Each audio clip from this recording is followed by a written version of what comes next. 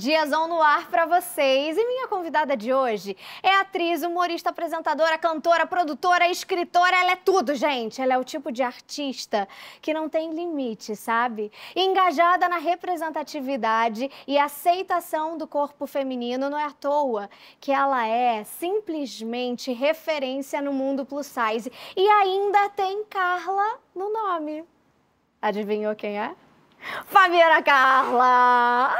Ai, tô muito feliz que você tá eu aqui. Eu também, eu tô nervosa. Eu tô gente. nervosa. Gente, que por quê? Eu ia dizer, eu vi Carlinha pequena, mas não posso nem dizer isso, né? Carlinha continua pequena, mas grandiosa. E eu tô vendo você brilhar cada vez mais. Eu tô tão feliz de estar aqui Ai, nesse seu amiga. momento. Eu tô feliz mesmo, assim, ver as suas conquistas, tudo que você tá, sabe, ampliando seus horizontes fazendo. Tô muito feliz de estar aqui. Ai, obrigada. E você tem muita coisa pra contar, porque você também tá cheia de projetos, não sou só eu, né? É, as Carlas têm disso, né, As gente? Elas são Carlas. inquietas. Me achará ainda. Gente, co- como é que é ser Fabiana Carla, né? Porque é múltipla, né? Cara, eu acho que a arte me abduziu e me salvou. Falar disso é tão emocionante, Carla, porque hoje eu olhando para trás, Hum. é, fazendo tudo que eu faço e, e- e olhando a minha trajetória, eu penso assim: a arte realmente me abduziu e me salvou. Por quê? Aos 14 anos, eu ia para um grupo que a minha mãe era kardecista, né? Contrariando toda a família que era evangélica. Minha mãe se identificava mais com o kardecismo e ela ia para esse Uhum. lugar, que era o Centro Alta de Souza, em Recife. E aí ela me deixava na água fluidificada e ao mesmo tempo eu tomava água da- conta da água fluidificada, me sentia super importante. E depois eu ia para o grupo jovem, onde eu conheci muitos amigos, onde eu fiz esse exercício com a arte, onde a gente fez uma peça chamada Há Dois Mil Anos. Uhum. E eu fazia uma pedra. Como é que é? Depois. Não, é sacanagem, é sacanagem. A minha amiga ficava dizendo: você faz uma pedra. Eu digo, não é uma pedra. Não, eu não é uma pedra qualquer. Não, qualquer. Na verdade, eu fazia uma mulher que era jogada para os leões tal. Eu, fa- e eu, eu bem assim, 14 anos, começando. Aham. Mas foi ali que eu exercitei né, o início do que seria estar me apresentando, mostrando é, artisticamente a- é, a pela primeira vez um personagem. E eu me empenhei, eu gritava, eu chorava, mas eu queria fazer graça. E o povo ria quando eu chorava, menina. Era uma era uma coisa infernal. Por que será, né? E eu me embrenhava no cenário, era um inferno. Mas Ah. eu adorei estar naquele lugar. Eu achei que ali tinha algo para mim. Quando a luz bateu em mim, me abduziu. Eu imagino. E me acalmou, porque eu sempre fui inquieta. Pra você ter ideia, eu fazia parte do, do aquele negócio, vigilante, como é que chama? Campanha do quilo. Ah. Que as pessoas botam um saquinho no braço e elas saem pedindo de porta em po- em porta quilo de alimentos para Aham. poder fazer doações. E lá no centro tinha isso. Eu já tomava conta da água fluidificada. Entendi. E aí me deram outro rolê para eu Outra fazer, função. que era outra função. Entendi. E você deve ter se dado era- muito bem, por Não sinal. era isso. Acho que a Não- espiritualidade entendeu e disse assim: olha, manda ela fazer campanha.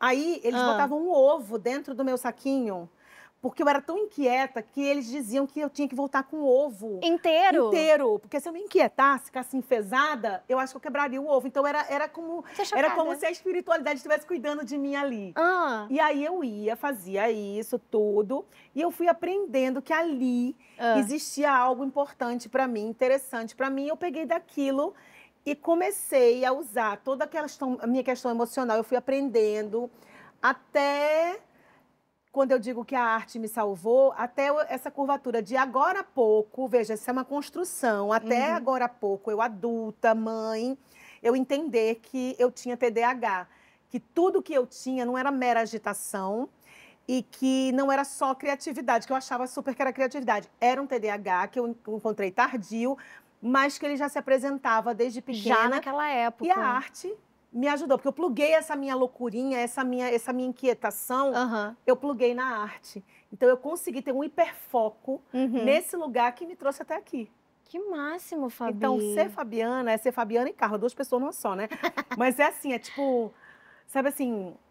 É uma uma inquietude revolução, uma gostosa. inquietude que agora é gostosa, porque agora eu descobri como usar isso de uma forma melhor. Uhum. E como que você descobriu hoje, é, enfim, depois de muito tempo, o TDAH? Já que você tocou nesse assunto. Eu comecei a entender que eu estava, eu sempre, eu- a vida inteira eu não sabia que era isso, mas a vida inteira eu começava a perceber que tinha hora que eu, eu conversava sem olhar nos olhos. Isso Aham. para mim era importante demais. A gente, quando a gente brinca de brindar, né? Tem quando faz um brinde, Aham. tem que olhar nos olhos. Vamos fazer um brinde, Carla? Vamos, nos olhos. vamos, pra dar Olha nos sorte. olhos. Olha nos olhos. Cheers. Bebe, bebe. Hum. Hum. Ah, não botaram. Mentira, é água, gente. É, Aí o que acontece? Eu, eu comecei a perceber que eu perdia meus focos. Uhum. Isso me deixava insegura.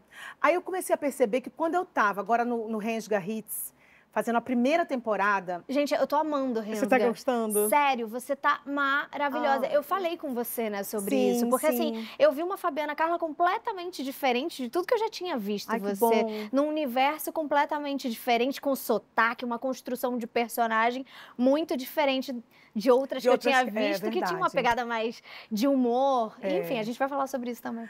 Mas no Rensga eu comecei a perceber que eu estava com certas dificuldades. Eu estava contracenando aqui com você, e Aham. se o passarinho passasse, eu parava Você de olhar para você e eu ia. O barulho para mim, a temperatura Será que eu tenho pra mim. TDAH?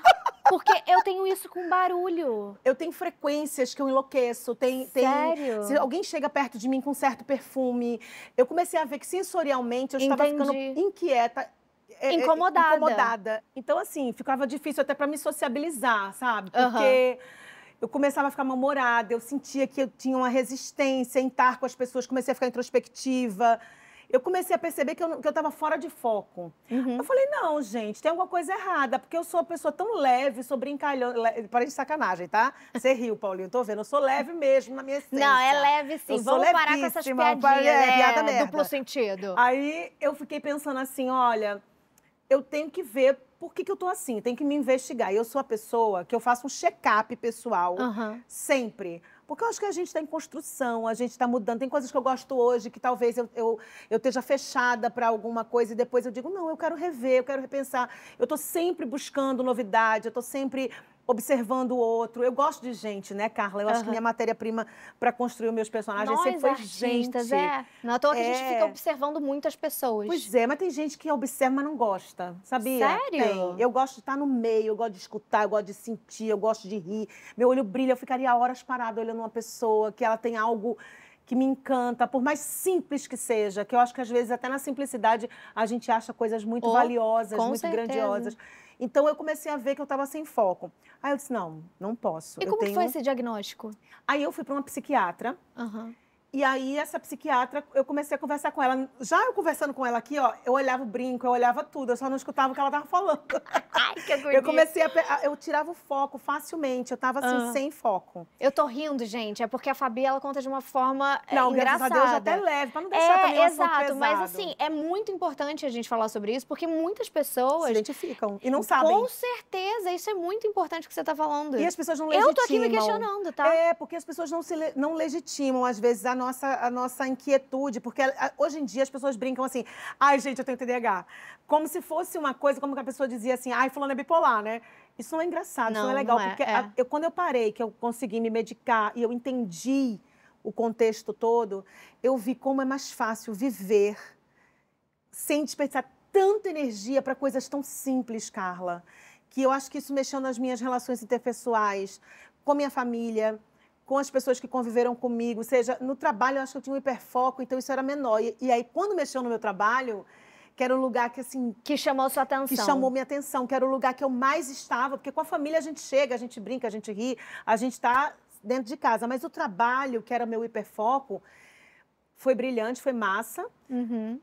Trazer para esse contexto, mas quando começou a arranhar o meu trabalho, Ah, era um é lugar de eu. perigo. É, o que que tá O que acontecendo? está acontecendo, sabe? E assim, até me tranca a garganta falar em alguns momentos sobre isso. Você nunca falou sobre isso, Fabi? Não, eu já falei, inclusive no podcast da Ah. doutora Beatriz, né, que é a minha psiquiatra, que também Então tá tudo bem falar tudo sobre bem, isso. tudo que super bom. bem, até porque eu acho importante para as pessoas se questionarem, sabe? E também para pararem de achar que isso é uma brincadeira, tipo, ai, fulano tem TDAH. Não é maneiro não. E não é nem só brincadeira, mas muita gente às vezes leva como, ai, tipo, chatice. É, E como, cara. ai, ai, lá vem a Fabiana. Fabiana tipo, sem é, foco. é, exatamente. Não Como é. se você tivesse de mimimi, por exemplo. Isso, isso é uma dor. E é sério. É sério, é uma dor, porque depois que eu, que eu entendi como é viver medicada, centrada, como é mais fácil, você até se reconhece em outro lugar, porque eu já não preciso, eu não preciso desperdiçar tanta energia para fazer uma coisa tão simples,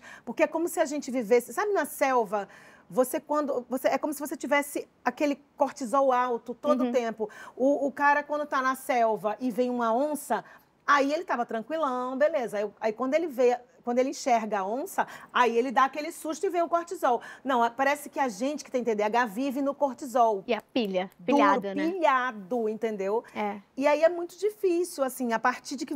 Também é, é difícil a partir do tempo que você entende a circunstância, que você se medica. Eu acho que é importante a gente falar que não é um problema encontrar um psiquiatra, porque isso só facilita a sua vida. Não, inclusive, psiquiatra, terapia, é muito que aí vem necessário. todos os desdobramentos, Exatamente. sabe? Tratamentos, o medicamento certo, as dosagens certas, porque eu comecei a tomar uma dosagem super alta que eu mandava no mundo. Eu fiquei assim, tipo o esquilo do Sem Floresta. E eu queria eu chegava no set, depois eu tinha vergonha, porque eu chegava Como no set e eu assim? dizia, essa luz tá errada. Gente, esse foco não tá legal. Vem cá, o som, eu, eu me meti em tudo, porque eu ficava com um foco. Eu já tenho, né, essa visão 360. E eu Chocada. ficava me metendo em todas as coisas, e tudo pra mim era mágico. Eu falei, tem, tá errado. Tá, tá, tá. É. Aí fui explicar e minha terapeuta falou: olha, vamos ver, vamos. Aí tudo começa a se ajustar, mas Exato. a vida fica mais fácil, Carla. Porque você sabe os mecanismos, você sabe como se acalmar, como segurar. E a maturidade ajuda mais ainda, porque vem junto. É, você começa a entender que tem coisa que dá preguiça de responder, não precisa. Tá bom, não vai. Principalmente, né, você não- quando, na, na nossa profissão, quando a gente. Eu tô fazendo 30 anos de carreira esse ano, né? Então, você também É, tem quase, muitos anos assim. de carreira. É óbvio que chega um momento que a gente tem que dar umas respiradas fundas, né? Tem, tem, porque tem hora que realmente. Eu entendo Suzana Vieira.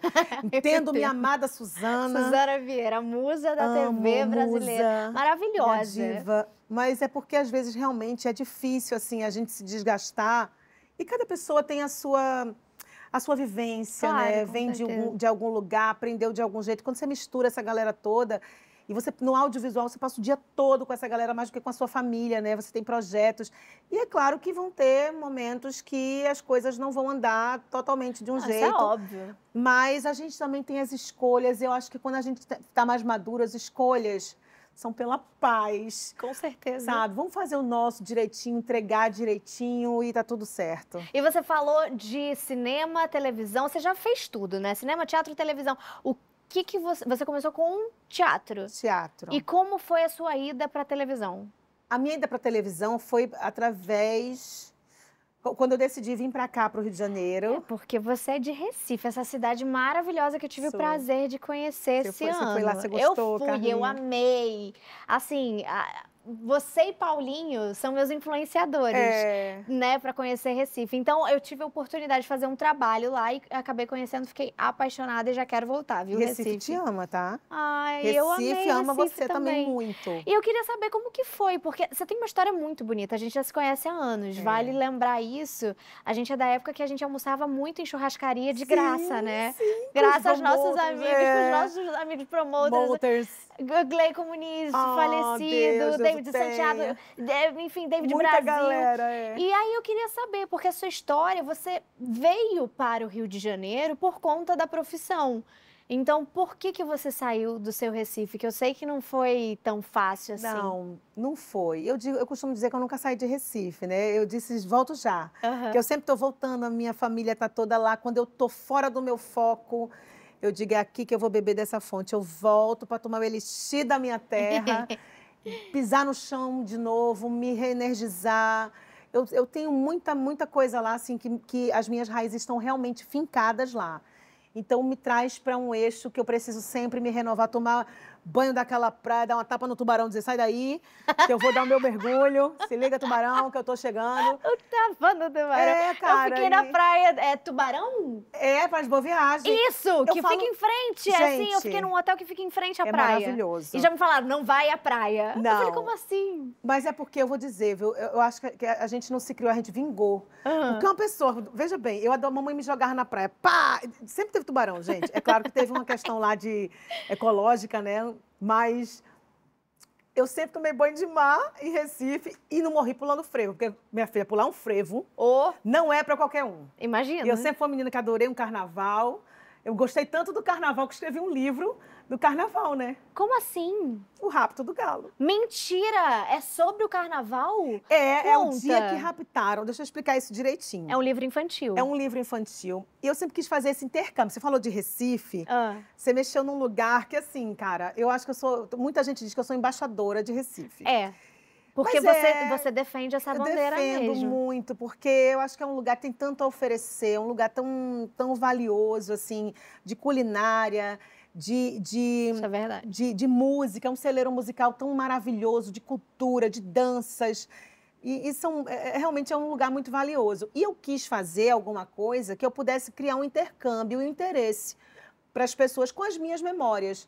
Então, eu escrevi O Rapto do Galo. Gente, Porque que o Galo da fofo. Madrugada é um bloco de carnaval que até está no Guinness Book, catalogado no Guinness como o maior bloco de rua, com milhões de Jura? foliões. Que máximo. Eu não sabia que, estava no Guinness. É, e é uma prévia carnavalesca que abre as festividades do carnaval Sim, pernambucano. aham. Então, se não tiver Galo da Madrugada, não tem carnaval. Aí eu pensei assim, como é que eu posso botar isso? Aí eu, eu pensei, vamos dificultar? Mas mentira. É porque foi saindo na minha cabeça as melhores ideias que eu tenho é quando eu tô tomando banho, porque tem água. Eu também! Eu Água. também! Carla, eu acho que eu fico no rolê Eu acho que a gente fica água. relaxada e do nada as É. coisas surgem na cabeça. Gente, Flui. acontece isso com vocês também? Gente, Eu acho que super flui. A e aí, água me dá que esse lugar. ideia? Aí eu comecei a pensar que foi uma época que eu fiz um DVD que ganhou o prêmio da música brasileira. Gente, eu tô me exibindo muito. Mas é verdade, com Ela é Cleiton e muito Cledir. importante. Ah, Cleito e Cledir fizeram um DVD chamado Para o Ímpar. ah. E eu participei de uma das faixas, que era a Trova do Guri da Guria. E trova, só gaúcho, né? Que canta trova, né? Né? Daí eu fiz Bah. que nem um, um repente, né? eu era uma prenda gaúcha, mas aí eu fiz como a guria. E a gente, depois eu mostro pra vocês aí, e tem o CD do DVD do Pau Ímpar. E a gente ganhou o prêmio da música brasileira. E eu pensei, gente, eu preciso. Eu tava numa época quando eu não tinha nada de trabalho assim que eu estava trazendo ao público infantil. E eu estava saindo do Zorra Total, que era um, que é um, um programa que assistia criança, avó, o avô, a pai, a mãe. Então, no aeroporto, eu sempre fui abordada desde o pequenininho até a vovó. Então, eu disse, cara, eu acho que eu estou deixando um público infantil descoberto. E aí, quando eu fiz o Parou Ímpar, que eu fiz a participação, eu falei, gente, é oportunidade, porque eles faziam com o grupo TOL, que é um grupo de pelotas, que parece o Cirque du Soleil, é a coisa mais linda do mundo. Olha. Eu sempre quis botar esse show pra frente, inclusive, eu ainda participo, e, e eu ia com eles cantar, a gente fez uma turnezinha.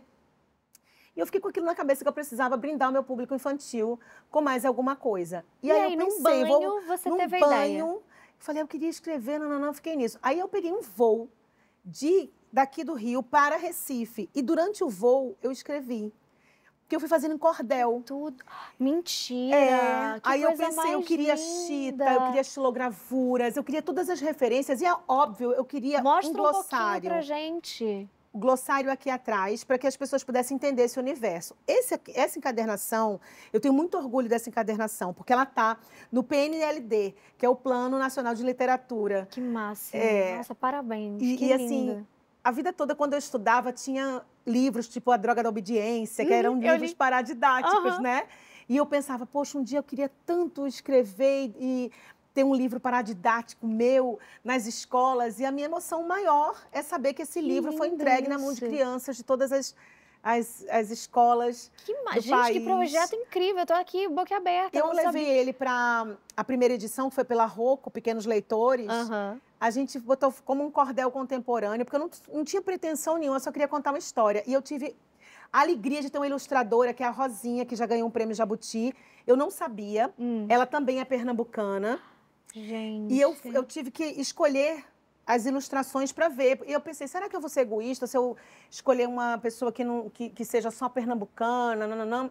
Mas quando eu, olhei, aí eu falei, eu vou olhar sem saber de onde elas são Uhum. para eu realmente ser fiel ao que eu acho que pode contar essa história comigo. Que eu acho que as ilustrações são uma grife, assim, sabe? Uhum. E aí, pasme, olha aqui a Chita, gente, eu tô toda orgulhosa, né? Chita, esse aqui é Chita. Gente, que máximo. Isso aqui é estilogravura, essas letras. Aham. E, pasme, o Galo da Madrugada, ele tem aqui, ó, uma máquina fotográfica. Por quê? Porque eu não sabia, mas a Rosinha, o tio dela, foi homenageado. Era um grande fotógrafo, Lacerda, e ele foi homenageado pelo Galo da Madrugada. Então, o Galo, na época, colocou essa, essa maquininha, Câmera. essa Que câmera máximo. no pescoço do galo que fica imponente, assim, gigantesco na ponte do articoelho. E aí eu falei, eu vou contar essa história e vou levar para Portugal, vou levar para Boston, para lugares onde as crianças nessas, nessas instituições, elas tinham pais que eram brasileiros, mas Uhum. nascidas né, Em fora do país. aham. E eu achei ótimo porque é um livro que os pais leem para as crianças para que eles não percam a identidade com a língua mãe. Então eu me senti tão importante artisticamente, tão Que útil, sabe? máximo, Fabi. E tem lindo, muita rima, tem muita coisa legal. Quem puder, é o Rápido do Galo, na editora Ai, Rocco gente, que Pequenos lindo. Leitores. Tem muita coisa legal aqui. Então, Lindo, vou querer ver também depois. Recife vou folhear. realmente mora no meu coração. Tá aqui, Carlinha. Ai, que se máximo. depois você lê. Parabéns. E é isso aí. Recife é o lugar onde eu me inspiro, onde eu posso mergulhar na minha essência. Doeu sair de lá? Doeu. Doeu porque eu deixei muita gente que eu gosto, deixei os meus filhos lá, mas eu deixei no ninho. Eu, eu senti que eu deixei. Mas deve não ter joguei. sido difícil para uma mãe. É, desgarrar é difícil. Mas eu acho que eu fiz aquela coisa. Quem, quem ama também abdica em alguns Lógico, momentos. Com certeza. Não tem na Bíblia, né? Salomão não teve aquela história da mulher que chegou Aham. com a espada e ou você me dá meu filho ou eu corto no meio para cada um dar um pedaço. Ela disse: "Não, então eu prefiro que você fique com ele inteiro por Claro. amor". Então quem ama abdica. Eu pensava sempre nisso, que eu deixei os meus filhos é, no conforto do lar para que eu fosse aventurar, sabe? Uhum. Eu vivia tranquilamente, bem, socialmente, tudo bem com os meus filhos. Mas eu estava infeliz. Porque a- o, meu lado artístico não era explorado, o meu lado artístico não veio, não estava a serviço como eu, eu- eu gostaria. Eu fiz muito teatro, eu fiz muita peça, os meninos eram bem pequenininhos. Mas eu, chega uma hora que se você não bota máscara de oxigênio em você, você não pode ajudar os outros. E uma mãe infeliz num lar, meu amor, ela faz todo mundo ficar triste também. imagino. Então eu acho que eu fui experimentar e a coisa foi tomando um vulto, né? Que eu não esperava. Mas foi difícil sair, deixar as crianças, e ainda tem mais, o preconceito, o machismo. Porque quando é o homem que sai por uma oportunidade de trabalho, as pessoas, ok, a Tá mulher fica bem, com as crianças e está é. tudo certo. Mas a mulher sair, ela tem que pedir para o marido, ela tem que conversar muito bem conversado sobre isso. E às vezes, não, é melhor não, deixa as crianças crescerem. E meus filhos foram um norte para que eu não ficasse, uhul, Rio de Janeiro. Pelo contrário, eu sabia que tinha gente me esperando, eu sabia onde eu tinha deixado as crianças, eu me fiz presente a hora toda, mesmo estando longe. Então, assim, foi muito difícil, mas eu acho que foi tão bom agora ver na carinha deles, eles adultos, grandes, me sentindo como uma inspiração, sabe? Falando para mim o quanto foi importante, o quanto eles entendem. Eu acho Que que, lindo. o Não, eles são tempo super maduros, né? São é três, né? São três: Beatriz, Laura e Samuel. Ai, gente, eu vi, eu vi Laurinha pequenininha. E Pequenininha. Laurinha agora, atriz também? Sim. Além de cantar super. Eu falo que meu útero é o Projac. Mentira. Não, é porque eu tô com medo de ser cancelada por nepotismo. Também é mentira. Mas é porque eles fazem teste nas minhas costas. Sabe por quê? Hum, Porque eu sempre criei eles dizendo o seguinte: precisa fazer teste. claro. Porque assim, ó, no caso de Laura que canta, voz você tem ou você não tem, sendo filho de quem seja. Como que a gente encontra a Laura no Spotify? Fala aí. Laura tem um projeto chamado Desejo. É a coisa mais linda, É, gente. é lindo, tudo É ela lindo compôs. demais. Obrigada. Eu sei. Já ela ouvi. compôs as músicas, ela tem um carinho muito grande, ela é formada em produção fonográfica, onde a, turma dela lá em Belas Artes, na, na Faculdade de Belas Artes de São Paulo, ela foi a, foi a turma que teve o maior quantitativo de mulheres no ano que ela, Olha. que ela formou. Porque a gente sabe que é difícil, né? Tem, tem mais homens nessa profissão e eu achei muito legal falar sobre isso. E ela, assim, ela entende super, ela compõe desde seis anos de idade. Gente, é uma artista também. E a gente né? vai ajudando, mas assim, botando no trilho para que ela possa Claro. caminhar. Então a mãe vai ajudando, vai tentando fazer o melhor que pode, custeando um apartamento para poder estudar em São Paulo, fazendo coisas básicas. Por quê? Porque eu quero que eles sintam o mérito próprio. Eu quero que eles tenham esse desejo de buscar, Uhum. sabe? Porque quando a gente pode ajudar, qualquer um vai ajudar seu filho. Desculpa, você vai Exato. ajudar a ter o que você puder. Agora, é bom que eles possam cavar as oportunidades, ver as conquistas. Caminhar com as próprias É, pernas. tá então, assim, dizendo. tudo que eles fizeram, eu às, às vezes até eu me questiono, eu falo, eu converso muito com o Paulinho sobre isso. Será que eu estou sabotando? Não era sabotagem, eu ficava com essa sensação de que eu estava talvez botando um gosto ruim, se era medo meu deles não fazerem bem feito e eu ficar com vergonha. Sabe assim, coisa Sério? de mãe. Mas não era, era Ah. medo exatamente do que os outros iriam falar. Aí você chega numa idade que diz assim, gente, desculpa. Eu vou, eu, vou, eu vou tirar a oportunidade que eles estão cavando É. porque eu estou com medo do que vão falar. Ah, não dá. Então, assim, tá na hora de cada um fazer o seu rolê e eu vou deixar como eles conseguirem, as relações deles. Hoje em dia eu vejo Laura se relacionar com a galera que é minha amiga ou, ou uma galera que, que curte mais, sai mais com Laura do que comigo. E eu fico, Laura, tu estava na casa de quem? Eu não acredito. Eu nunca fui na casa de fulana. Porque eu sou mais comedida, assim, em algumas coisas. Eu Aham. sou essa pessoa. Brinco, adoro todo mundo. Eu sou essa pessoa Mas eu amiga sou- de Xuxa. Inclusive, Pois eu quero é. Xuxa aqui. Pois é, Meu sonho. gente. Ah, ela vai adorar vir aqui com você, com essa borboleta mais. E falar de veganismo, você sabe que ela vai ter esse espaço Uhum. Não, maravilhoso para isso. E assim, é exatamente por isso que eu mantenho relações estreitas com algumas pessoas, que eu acredito que é exatamente essa. Eu tenho uma reverência. Por mais que eu tenha uma amizade, eu, eu tenho uma reverência com os meus amigos. Eu não sei se é porque eu, eu faço a mesma coisa que eu quero que façam comigo, eu não quero ser invadida também. Claro, é óbvio. E aí eu deixo. É porque a gente começou muito cedo e a gente pegou É. uma outra geração, é, principalmente da televisão e, e- e do nosso meio artístico. Teve uma grande mudança com a chegada da internet. Sim. A gente é da época que recebia carta. É verdade, eu Não até é? brinquei, eu tava no programa da Ivete, eu falei assim, pede, manda, manda a carta pra mim, não sei o que, aí ela disse, bicha, ninguém manda mais carta não, eu falei, ai, mas manda, eu achei umas 10 cartas lá em casa, Você inclusive. vê muita diferença daquele mundo de antes, é, onde era muito fácil a gente falar, "Ah, não falo da minha vida profissional, e hoje a gente tem, é, a gente é bombardeado, né, não só pela imprensa, mas pelo nosso público também, muitas vezes, de ter que. Você tem que falar sobre sua vida. Você tem que. Você tem que. Você tem que. O que, que você acha sobre isso? Eu não acho, acha? não, eu acho o seguinte, que às vezes a gente tem que deixar claro até que ponto a gente quer se expor. Uhum.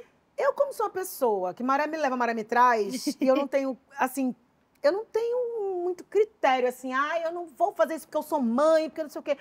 Eu faço o que eu posso bancar depois dos comentários, eh, porque eu sei que ação gera reação. Se eu boto Total. uma... É engraçado isso, hein? quando eu boto as carnes de fora, bomba o negócio.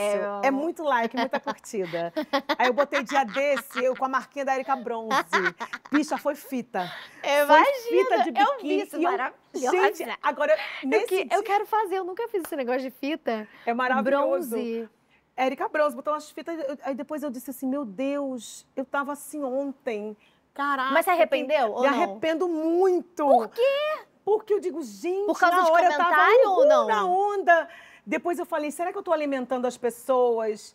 É para depois eu tiver com uma situação que eu não queria estar assim, e eu dizer, vocês estão me invadindo. Mas ali a minha casa é meu muro, é meu feed. eu boto meu se eu quiser.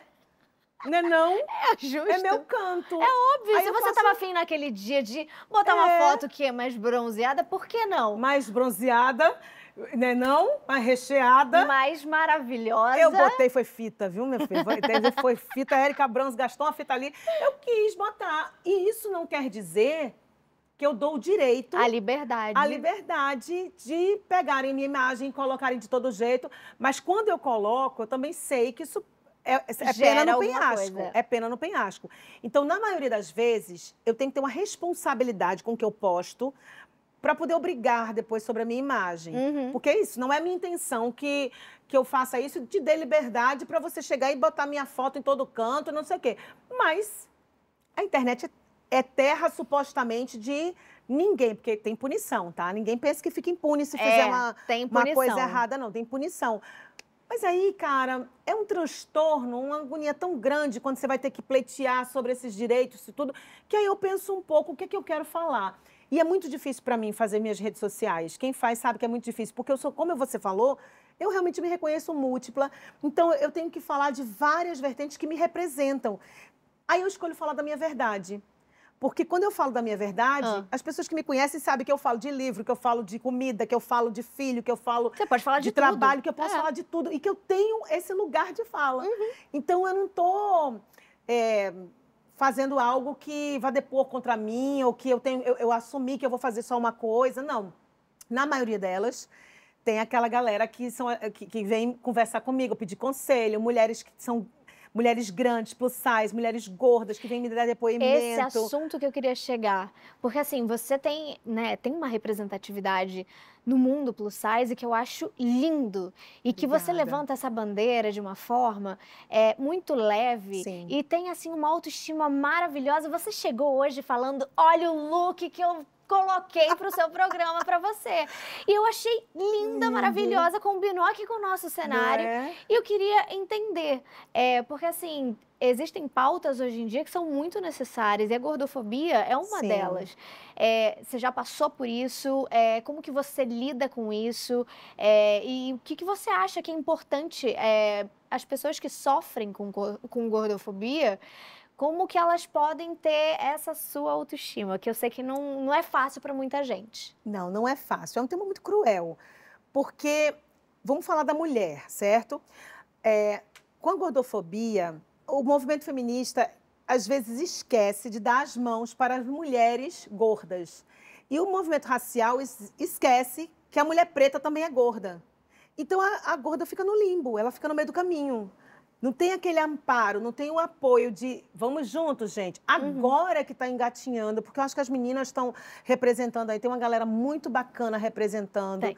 É, eu acho que eu e Preta Gil capinamos o terreno, Preta assim, maravilhosa. falo isso com felicidade hoje, porque muitas pessoas já me disseram isso, porque isso nunca foi pretensão minha ser a que levantou a bandeira, porque eu, eu sempre fiz isso com muita leveza, assim, eu, eu só testificava a minha faz de vida uma forma natural. natural. E, e, assim, quando as pessoas diziam, ah, você empodera, eu tenho dificuldade com essa palavra, porque eu acho que empoderar parte do princípio que você tem um poder para dar para o outro, e eu não me sinto nesse lugar, eu me sinto que eu inspiro. Exato. E- E, e- inspira muito. Inspirar é diferente, você faz algo que, que brilha o olho do outro, que você diz assim, poxa, eu posso fazer dessa forma e vai, ela, ela já fez na minha frente, então, quem sabe eu, eu faço parecido e dá certo. Claro. E eu acredito no exercício, porque a gente não, não, não tem isso todo dia. Ah, Eu não acordo todo dia me achando ótima. Eu sou bem vaidosa, mas foi um exercício também. Tem dia que eu também tô jogada. Ah, mas é isso qualquer pessoa. Ai, qualquer pessoa, Eu gente. tem dia que eu também acordo e não tô afim de Não tô nada. afim, não. Não tô eu não tô afim de afim, nada. não. Eu, tô- eu acordo, às vezes, no- querendo o direito de, de me sentir De feia. me sentir feia, dizer assim, eu quero me sentir feia hoje, porque já já, amor, quando eu pegar no pincel, eu começar. Exato. Quando- aí a gente. É, é a mesma coisa que. Na minha cabeça, tá? Eu, eu respeito quem tem. Mas a pessoa que já tem tudo já feito, de manhã, de tarde, de noite, a cara, a mesma cara, a mesma cara. Você não vê diferença. Não tem É. aquela coisa da pessoa chegar e dizer: gente, ela se arrumou. Porque você tá sempre com a mesma cara. Aham. Então, quando você tá despenteado, tal, tua beleza natural, que, que eu acho que envolve cuidado, porque eu acho que você não vai em uma manicure só para fazer a unha, eu acho que é uma questão de higiene, de cuidado. Eu acho que você a pele para mim é uma coisa que é muito importante para mim, que Uhum. traz a minha vaidade, porque me liberta de eu estar com filtro, de eu estar com algumas outras coisas Claro. e mostra a minha saúde. Porque eu tenho uma doença crônica e recorrente, que é a obesidade, Hum. e que eu escolhi viver com ela dessa forma, buscando ferramentas que eu não precisasse fazer uma cirurgia de estômago, onde minha família já tem muita gente que já fez, mas eu não me sinto apta, até porque eu não tenho a compulsão, Aham. mas é, é uma coisa que eu vou ter que lidar para sempre. Se eu, ficar, se eu ficar magríssima, eu vou ter que realmente ter cuidado sempre, porque as células vão estar só adormecidas. Então as pessoas têm que entender que a gente não pode relacionar relaxamento, é, desleixo. Tem várias coisas, tem várias Já coisas. foi muito julgada, assim? Eu não sei, porque você me perguntou até do bullying. Aham. Eu nunca sofri, porque eu digo que eu não atendi a ligação do bullying. Mas não é isso, gente. É porque o, o fato de eu não ter sofrido não quer dizer que ele nunca esteve ao meu redor. Entendi. Então eu legitimo quando alguém me diz, a minha filha me fala alguém, e eu comecei a prestar atenção, porque eu tinha tanto esse exercício de, de ser tão acarinhada no lugar que eu nasci, na minha família. Meu pai sempre dizendo que eu era linda. O primeiro homem da minha vida que eu conhecia é meu pai. E ele dizia que eu era linda. Ai, tá aí a importância, A importância né? da rede de apoio. Exatamente. Não, e, e a educação desde de criança, de você ser elogiada. Exatamente. Na verdade, as, As palavras precisam- poder. Total, eu também fui uma criança. Gente, eu sou pequenininha, sou baixinha. Então, assim, perto de todas as minhas amigas, de todas as escolas que eu já frequentei, eu era mais baixa. E que, assim, é uma questão que a gente não vê Aham. uma galera dando as mãos, Sim. falando sobre, né? Sim. Então, assim, quantas vezes eu já li é, e, e já ouvi coisas que eu não me incomodo, porque eu, tenho uma autoestima que eu E foi acarinhada, polida na sua casa. Exatamente. Porém, eu, eu, eu recebo mensagens de muitas meninas baixinhas que têm complexo com isso. Você lembra que quando eu fiz uma campanha, eu fiz uma coisa que exatamente, eu sou tão abordada para saberem onde é que eu compro roupa, o que que eu faço, como é que eu me Você visto. acha que é difícil achar roupa plus difícil. size? Agora existe um movimento que está engatinhando Ah. e está observando, mas antigamente parecia capa de sofá.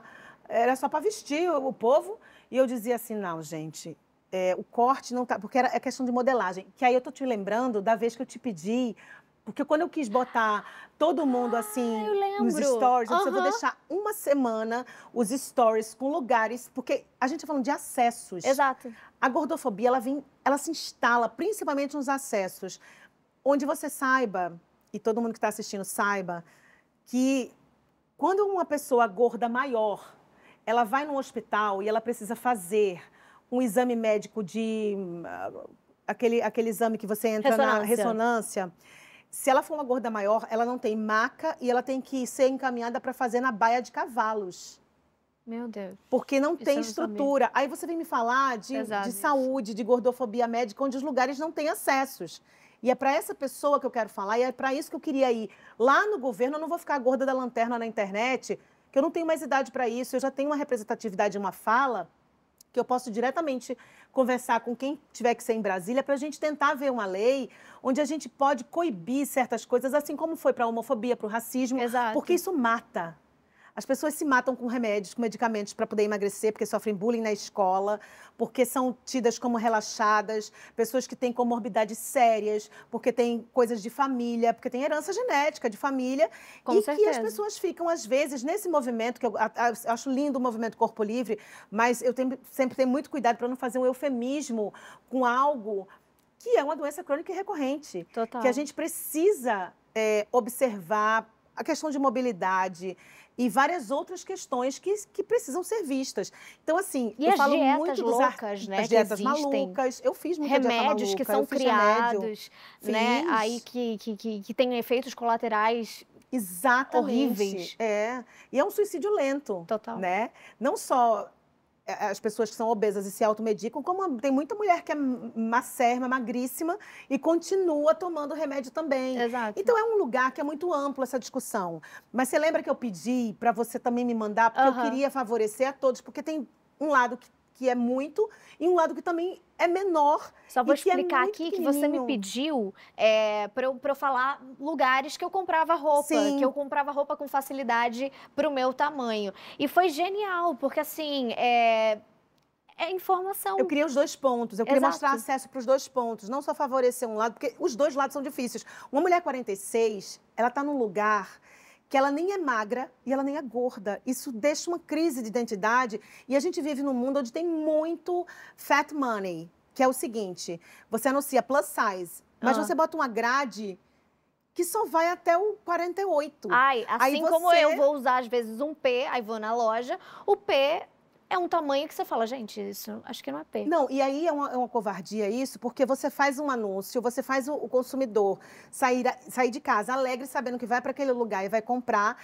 e você só faz é, o fat money, o atrativo dele entrar Entendi. na loja, Só porque tem ele vai comprar referência plus size. alguma coisa, mas ele vai sair insatisfeito, triste, ou então, quando vai até o GG, ele é um preço. Quando ele passa do GG, ele aumenta e assim, parece uma Gente. punição para a pessoa. E ela é consumidora.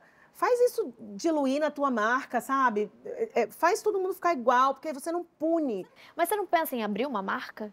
Olha, eu penso, sabe? Eu acho que eu já tenho. Eu, eu fiz um estudo, porque eu também quero esse lado empreendedor para mim. Eu gosto disso. Eu gosto de Uhum. produzir, gosto de É botar a mão na para, massa, eu eu, sei. Mal de Mas- Carla. Pois é, mal de Carlas. Eu não paro. É, mas eu acho assim, é uma responsabilidade muito grande. Acho que o mercado, não sei como é que está preparado, eu estou estudando isso, mas por enquanto eu tenho um catálogo de roupas, que é a Hiroshima, que me convidou há muito tempo, é uma empresa familiar. Onde tem eu, Ivete Sangalo, é, Aline Barros e Sabrina Sato. Nós quatro representamos essa Que marca, que incrível. são catálogos populares, que a roupa chega em E é uma todos os diversidade, lugares. porque são mulheres completamente diferentes. E que se alguém quiser o tamanho da Ivete Ah, numa roupa que gostou de mim, eu acho que isso é possível olha ser que feito. máximo. Acho que é uma, uma máxima, assim, desse catálogo, Não, sabe? uma ideia incrível, E adorei. é uma loja, tem uma história familiar que me encantou muito. E eu achei uma democracia, achei que os preços são justos, achei que eles estão conseguindo fazer essa história de deixar tudo no mesmo lugar, sem estar fazendo essa punição com as pessoas. Então eu fiquei muito feliz de contribuir com essa marca. Eu acho que com a galera aí, a minha coleção poderosona. Ai, que tá incrível! bombando. Arrasou. Eu fico muito feliz. Eu escolho, é, é, eu dou pitaco, né? Eu escolho a modelagem, eu escolho a- a- o tecido Que incrível. a estampa. Então eu fico muito feliz quando eu vejo ou, algu- ou alguém passa por mim e fala que está usando, ou as moças que são revendedoras, porque esses catálogos dão, ajudam muito para essas mulheres que viram Ah, revendedoras então, também, aham. né? Mas só para concluir a história do, do- da gordofobia, Uhum. só para a gente fechar esse assunto, que é um assunto tão amplo, tão vasto, né? Teria tanta coisa para a gente falar a respeito.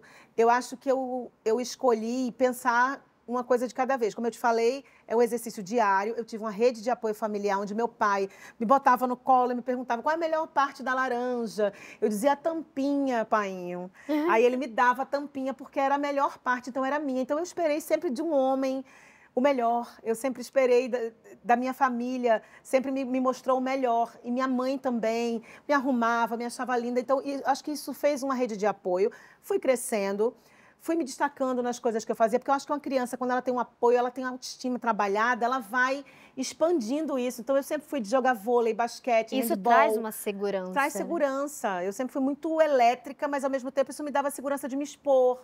Na escola eu era líder de turma. Então, assim, eu, eu pude me, me espalhar, sabe? No melhor dos sentidos, eu acho que eu pude me expandir. Sendo a Entendi. pessoa que eu era, e eu fui polida dentro de casa. Então, é uma sorte você ter alguém. Minha família, meu pai tem 14 irmãos e minha mãe tem cinco irmãos, mas Meu era assim: todo mundo é muito artístico, muito engraçado. Quando se juntavam, minhas tias dançavam pastoril, meu pai cantava. E eu aprendi a vida toda a escutar meu pai e minha mãe cantando, eu no meio escutando, sabe? Minha mãe foi chamada para cantar com Jackson no pandeiro. Nossa! Meu avô que não deixou, gente, porque disse que não é coisa de moça decente. e mamãe amargou isso, mas assim, cantava muito, então eu, eu cresci com esse lugar. Agora, não é fácil. Isso é um exercício, uma descoberta pessoal de cada, de cada um. E acho que tem que ser realmente um- um- no tempo de cada um. Não adianta forçar. Eu Acho que a pessoa tem que se entender, mas é um mergulho de amor interno. É um mergulho particular que eu vou fazer sempre. É como um check-up que eu te falei no começo. Aham. Eu acho que a gente tem que estar sempre, porque eu tô com uma plaquinha aqui escrita em obras. Porque eu quero aprender até o fim da minha vida. Ai, que minha lindo avó, isso, gostei. minha avó tem 96 anos, é uma mulher lúcida, uma mulher que eu acho que o olho dela ainda brilha. Eu quero que meu olho brilhe muito. Eu digo que eu quero morrer viva. Porque não tem um povo que vai morrer, já tá assim, né? Já não, tá entregue, né? Quero morrer viva. Ai, que incrível. Tenho medo de morrer, eu tenho pena. Igual Chico Anísio dizia. Bom, agora um momento respiro, um momento bate-bola, Ai, onde eu vou fazer uma brincadeirinha com você, tá? Tá, Onde, Carla. onde eu vou te fazer umas perguntas e você me responde com uma palavra. Essa sou eu, nada verborrágica. Né? Uma palavra só. Tem dália, gente. Podia ter dado uma colinha aqui pra ela. Vamos tentar, Mas é Carla. fácil, e vai no seu tempo, tá? Uma memória. A minha tá falhando, Carla. Não tenho nem como dar uma memória. A sua, então, a minha, Uma vai. memória, uma memória a minha. Que Deus preserve. Maravilhosa. Um filme que você ama loucamente. Eu amo Lucy Creed Vai para Marte, porque foi um filme que eu, foi o primeiro filme que eu fiz produzindo, que eu fiz real na NASA, sem dublê. Eu não quero ser injusta com os outros, mas esse é um filho, né? É muito difícil Você produziu, produzir. é. Eu fiz tudo sem dublê, tudo que você vai assistir ali é real. Eu, eu desci de gravidade zero real no deserto de Nevada. Como assim? Foi, eu fiz, eu fiz um, um voo que chama de Sem dublê? Zirandi sem dublê, querida. Pra valorizar o passe aí. Já tô fazendo o segundo filme aí sem dublê. Estamos mandando bem. Não, eu já quero fazer uma participação nesse filme, tá? Agora, 2 vem aí. Mas Maravilhoso. é, mas é uma. E, assim, eu acho que Lucy Creed traz uma coisa tão, tão importante para mim que quando eu estava dentro da NASA, né, o Marcos Ponte mediou isso para mim, eu dentro da NASA, assim, a sonda atrás, tudo, tu- tipo madrugada e o cara segurando e falando assim, Lucy Creed goes to Mars, take one. Eu parei e chorei, né? Porque eu falei assim, eu com um lencinho na cabeça, com o último filme que tinha sido gravado foi Armagedon, eu me sentindo brasileira, nordestina, com uma vassoura na mão e olhando aquilo ali, aquele lugar. E era para responder só com uma palavra. Era para vendo que não dá certo. não dá, Mas eu amei, eu fiquei, é, eu fiquei pirando aqui, eu fiquei assim, ó, esqueci do bate-bola. Vamos lá, uma coisa que te revolta. Desrespeito, porque desrespeito engloba tudo. Várias Mentira, coisas. E, é, e puxa várias maldade, maltrato. Eu acho que desrespeito, sabe? Quando você não respeita, você engloba várias coisas. Eu acho que desrespeito me deixa. Boa. Agora, uma personagem dessa carreira. Tá vendo a covardia aí? É mesmo que perguntar qual é o filho que eu gosto mais. Isso é sacanagem. Tem um que a gente se identifica mais. Então, pronto. Ah, eu vou falar da atual. Eu acho que a Helena Maravilha abriu muitas gavetas em mim. De Rensga. De Rensga. Então, acho que a Helena Maravilha, ela trouxe, ela resgatou um pouco, porque todo personagem que eu faço, era a pessoa tá uma explicação, toda vez que vai fazer uma resposta. Mas é porque é verdade. É, cada personagem, ele deixa um perfume e ele leva algo da gente também, é uma troca. É verdade. Só que eu acho que a Helena me deu mais. Ela me abriu várias gavetas no momento onde eu precisava e alguém. Eh, a Helena me deu a mão e me levantou. Ai, você sente isso? Dentro de mim. Que sim. as nossas personagens, elas, eh, elas fazem a gente crescer também sim, como pessoa. Sim, e elas são muito importantes para cada fase que a gente está vivendo. Sim. Gente, incrível. Eu acho que eu tava assim, amuada, a Helena fez, ei, acorda, é levanta, que nem a Karine. Bem. A Karine da Força do Querer, para mim, me trouxe assim uma autoestima que eu, naquele momento estava é. muito baixa. E aí fica é tão gostoso, né? Porque uhum. a gente descobre outras coisas e foi muito bom. Acho que a Helena Maravilha me deu essa. Agora, eu sei que você gosta de cantar uma música ou um estilo musical. Cara, eu tô muito sertaneja. Eu estou totalmente sertaneja hum. nesse momento, porque claro, eu mergulho no que eu estou fazendo, né? Então, nesse momento, eu estou numa vibe bem. Eu sou muito eclética porque eu gosto de música. E às vezes é a frequência, às vezes é o que me fala.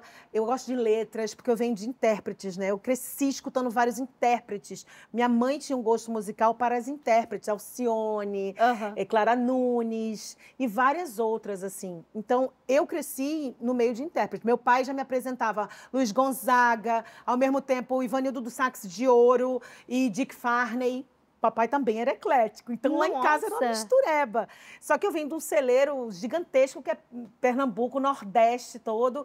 Então eu gosto de um forró, eu, eu, gosto de tudo. Eu gosto de música que me bote pra cima, que me deixa alegre, mesmo quando a cadência, quando o beat não é muito alegre. Uhum. Mas que traga alguma coisa boa, sabe? Que pareça fim de filme feliz. Ai, gostei. Eu gosto. Então eu, eu, eu tenho. Eu sou eclética com música, mas nesse momento eu estou escutando as rainhas do sertanejo. Uma palavra, uma palavra, era só uma palavra. Era só uma palavra. Tá que não dá certo. Eu sou a única que você é desobediente. Tá tudo certo, tá tudo certo. Agora, Edição momento única. on, momento on, momento off. Lá vem ela. Eu vou te fazer algumas perguntas, ou melhor, eu vou, vou falar algumas coisas, aí você vai me falar on ou off. Só isso. On pra sim vai ser difícil. Então, pra Fabiana, eu vou, eu vou abrir uma exceção. Então vai ser momento pode e momento não. pode. pode. Adorei. Momento, isso não te pertence mais. É e tipo isso. Pode. Pronto. Coentro na comida. Pode sempre. Gente. Você ama? Eu não curto muito. Eu detesto salsa. Jura? Eu Puts, também não gosto de salsa. Eu salsinha. gosto do coentro. Hum. Coentro é um alento, velho. Coentro dá pra tudo. Então, coentro. Coentro pode. Amei. Sempre coentro, gente. Jogo de futebol. Pode, eu gosto. Gente, eu Gosta? gosto de futebol. Eu fui pro Maracanã. Mas é assim, desse. de assistir em casa? o quê? Eu vou, eu Sério? gosto. Sério? Você torce pra Juro. qual time? Tá vendo a covardia, Carla? Ah. Eu sou rubro-negra, então eu sou Flamengo, né? Que eu vou ah. pegar a maior torcida, claro. E aí, eu em Recife, eu sou Esporte Clube do Recife. Hum. Aí é uma confusão, porque tem um título aí envolvido que deu uma merda, que um diz que é do outro, mas eu vou, eu, eu sou rubro-negra, então eu vou, mas em cada Entendi. estado eu gosto de um também. Ah, eu também sou assim. Porque São eu Paulo gosto, uma coisa. Gente, é. é, eu gosto de ir pro estádio, né? Eu gosto de ver, eu gosto daquela energia, de ver a galera ah, saindo do, do seu normal. Agora, meia para dormir. Pode ou não pode? Pode. Sabe pode. por quê, Carla? Às vezes, a gente, a pessoa tá sem o esquentinho. Aí uma meiazinha quando um tempo frio, né? Tem dia que a gente tá com o pé quentinho. Tem um pezinho para aquecer o outro. Mas quando a pessoa tá sem, é. tem que botar uma meinha. Aí, só, só no calor que, que, não, né? Agora, dependendo da ocasião também, fica meio bizarro. Só a meia também, assim, né? É. Fora de contexto, não, mas pra dormir tá bom. Beleza. Chiclete de canela. Puta, não, não. Isso não me pertence mais, não, Não. pode. Eu até pode ser que. Quem disse pra ela que eu detesto chiclete Não, é porque eu, eu detesto Eu também. Detesto chiclete de Meu pai canela. sempre tinha chiclete de canela, vocês não estão entendendo. Pra você não machucar chiclete. Eu vou pegar, eu vou fazer Será? até isso. Eu vou guardar um chicletinho de canela quando eu não. Assim, quer chiclete? Não, eu amo chiclete, Que tem a que ser gente dá que menta. comprimido. Eu falava sempre assim, eu vou tomar um remédio. Quando é chiclete bom, né? Que a gente quer dividir. Ou então dizer, quer não, né? Quer não, né? Aí eu vou mandar essa agora para as pessoas. É de, é de canela. Ai, Quer? É de canela, então, Ninguém não. quer. Mas engraçado, eu, eu não gosto mesmo. Só que às vezes tem uns que a essência é diferente, não sei. Aí a gente fica forçada a comer, eu comecei até a gostar mais ou menos. Tão ruim que é bom. Entendi. Mas pode ou não pode? Não pode. Não pode. Agora, película de privacidade no celular. Pode, deve ou isso não me pertence mais? Cara, eu fiquei meio na dúvida. Sabe por quê? Ah, Porque uma vez eu estava no, no avião e a minha letra é grande, né, gente? Que eu tenho que dar uma. uma- Eu estava aqui, a mulher atrás no meu banco, em pé para descer, ela estava tão empolgada na conversa que eu, eu, eu virei e falei: responde aí para mim. Ah, mentira! Porque a mulher estava tão empolgada, eu estava respondendo um negócio que era uma privacidade babado. E ela estava tão. Aí eu fui fazendo assim. era nudes? Não, E tô ela não. e ela foi meio que assim, mas ela estava tão em cima. Chega, tava, ela chega, tava entretida, coitada. Gente, já aconteceu comigo isso no Já avião. respirando, eu falei assim, amizgona, responde aí pra mim, assim, Cat. Gente, chocada. Aí eu não sei, porque eu não tenho nada a esconder. Mas eu acho que a privacidade sempre, sempre vale. Então, Com pode. certeza. Bom, gente, essa é Fabiana Carla. Agora, Ah, amiga, Eu quero mais. antes de acabar, eu queria que você deixasse uma mensagem, que você olhasse e que, assim, o que viesse na sua cabeça, você falasse para as pessoas que estão te assistindo. Amiga, Pode teu- ser qualquer coisa. Pode ser um beijo, pode ser uma mensagem reflexiva, pode ser qualquer coisa. Queria convidar todo mundo para ir tomar uma comigo e com o Leandro da Mata, que a gente está fazendo turnê com o espetáculo nessa mesa de bar, onde a gente canta as músicas do meu rei Reginaldo Vai ter sempre um garçom à sua disposição esperando você entrar nesse bar. Então, vem se divertir com a gente. É uma comédia que é uma comédia, assim, uma comédia cantante, né? Gente, que incrível. É muito gostoso. Eu me divirto muito. Eu adoro fazer teatro. Eu tô doida pra assistir. Esse contato com o meu público é sempre muito importante para mim, é o que me move, assim, é, um- é uma, é uma outra janela, é uma outra forma. Porque você- eu a gente não falou até isso, eu estou na Amazon, fazendo no Prime Video, faço algumas coisas, continuo na Globo, porque é um Ela amor tá eterno. em todos os lugares, meu bem. Mas eu amo fazer teatro Não, e na Amazon você, cinema. você não tá assim só na Amazon, você tá como na Amazon? Explica. É, eu faço, eu sou creator, tem esses nomes, né, bonito, que o povo bota creator, Gente. showrunner, né, mas eu, eu realmente, eu, eu Explica faço... pra quem não sabe o que, que é. É, eu estou fazendo minha criação do- de roteiro. Eu tenho sala de roteiro onde eu tenho uma ideia e eu coloco essa ideia para uma sala de roteiro que eu posso ele- eleger, que eu posso escolher. Então é uma, é uma liberdade muito grande, muito boa, onde a gente tem Incrível. uma galera que vai fazer isso acontecer. Vamos eu tô aí, produzir viu? Se juntos. precisar aí de uma atriz. Ah, claro, meu amor. Você sempre, sempre será bem-vinda. Porque você é uma ótima atriz, Carlinha. Você Ah, sabe meu disso. amor, né? você que é, você que eu, eu- eu admiro muito, você é uma inspiração porque você é uma mulher que é, você não tem fronteiras, então assim, você simplesmente se permite a fazer o que você Tô tá sempre expandindo para melhor servir, Carlinha. Não, não, parou, parou, parou. Sacanagem. Não, mas é porque é, eu Não, não sei é o que, que dizer você- agora no final, tá? Não, é que você é uma mulher realmente que me inspira, porque assim, desde quando eu te conheço, você já a gente já passou por fases de altos e baixos, né? Sim. Porque a carreira do artista, ela é assim, e você sempre continua essa mesma mulher, guerreira, forte, que sempre pensa na família e que sempre tá aí, tá on.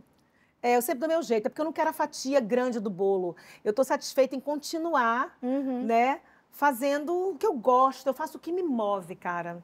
Eu gosto muito de ter o olhar para o mundo. E eu acho que esse TDAH aí, acho que até me ajudou bastante, mas hoje eu estou concentrando para perder menos energia, mas para poder. Eu não sou de projetos engavetados. Então eu quero selecionar o que eu posso botar minha energia, porque senão você fica frustrado. Exato. E eu acho que é assim, eu acho que se eu posso dar um conselho para alguém e terminar aqui falando alguma coisa, é que as pessoas acreditem no seu potencial, que descubram que abram gavetas, que façam seu mergulho interno, porque o potencial da gente está na gente, as respostas estão todas na gente. E a gente tem que buscar, se olhar, porque a gente saiu de um momento muito difícil, de uma pandemia, onde muita gente achou que todo mundo ia voltar. E o povo voltou meio desregulado, ninguém voltou 100%. Eu acho que uns ficaram bem, é um efeito porque colateral, conseguiram... talvez, né, da pandemia. Pois é, alguns ficaram bem porque conseguiram ficar mais dentro de casa, mas aí quando ficaram mais dentro de casa viram quanto era gostoso. Eu, particularmente, eu visitava a minha casa. Eu tenho roupa no, no armário que ainda tem etiqueta. Uhum. Então, parecia que eu estava em loja. E hoje eu sei cada cantinho da minha casa, eu curto mais, eu degusto mais minha vida. Então, procurem cuidar da sua saúde mental, porque hoje isso é ouro. E isso vai fazer você feliz e todo mundo feliz. Então, acho que é um ganho para a vida de todo mundo dar esse mergulho interno. Gente, acho que é muito importante. Fabiana Carla aqui para vocês. Ai, cada beijinho. A gente tem uma mesa aqui microfone. ainda, calma aí. Não, não, eu vou para aí, pronto. Ui, meu Deus. Podemos Ai, aqui, meus meu diretores? Deus. Ai, eu amei.